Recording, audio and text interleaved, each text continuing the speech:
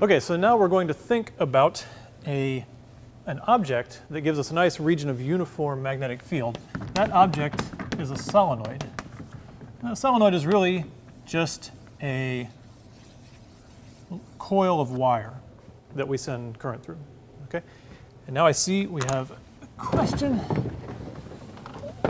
And Ashwith, can we have class outside? Come on. All right. All right. All right, you asked for it. Here we are in the academic quad of Rice University. We've got our founder, William Marsh Rice, watching over us as we do this lecture. He's actually here in more ways than you know. He's actually buried back there. So, so perhaps this is not the most respectful physics lecture we've ever had. So what we're going to talk about, though, is creating a uniform magnetic field. So one way to create a uniform magnetic field is just to stand here on the Earth. We are bathed in a uniform magnetic field pointing north. The problem is you can't really change it. You're stuck with this one field, and it's pretty weak, you know, just a Gauss, few Gauss. So we want to think about the device that we use to create a uniform magnetic field, and that is a solenoid. So a solenoid is a cylindrical coil of wire.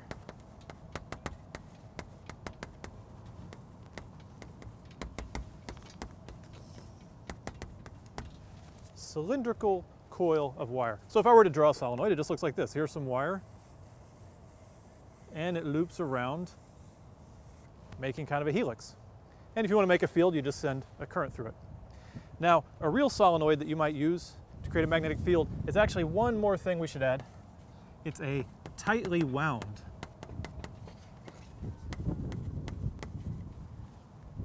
cylindrical coil of wire. So let me draw something a little bit more realistic we want to get a big field, so we want a lot of current loops, so it looks more like, you know, like this.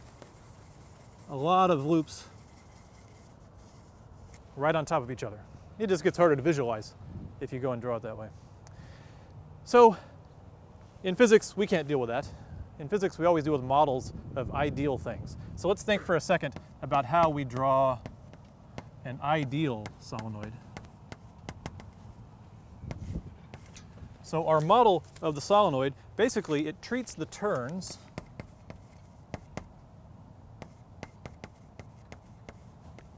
as individual loops.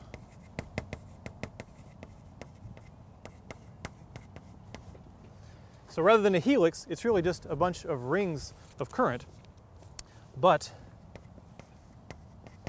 current still flows throughout.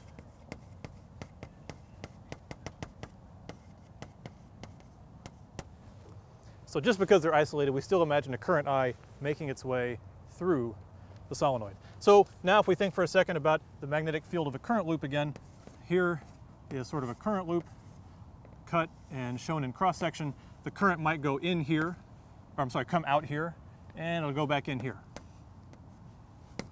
So it's a full loop. I'm just showing it to you in cross section. If it does that, the current does that, we know the magnetic field in the center will point up.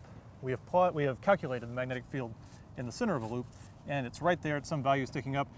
If you go off axis, it kind of does this. We've kind of drawn this many times. It kind of goes like that, and it goes like that, and we know everything about the magnetic field is loopy.